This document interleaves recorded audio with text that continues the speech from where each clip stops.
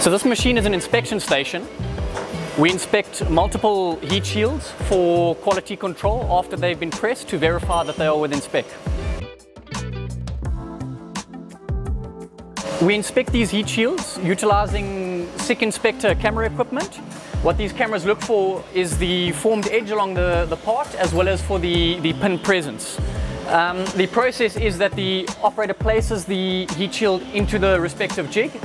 They will then come and lock the part out for process security. They will come and scan the barcode.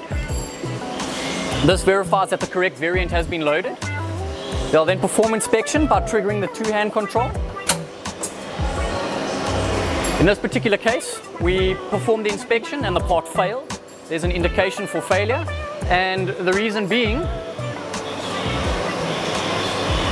is that we are missing the pin on the, the push pin. So the operator has forgotten to insert the, the pin and this part has now failed the, the quality control process.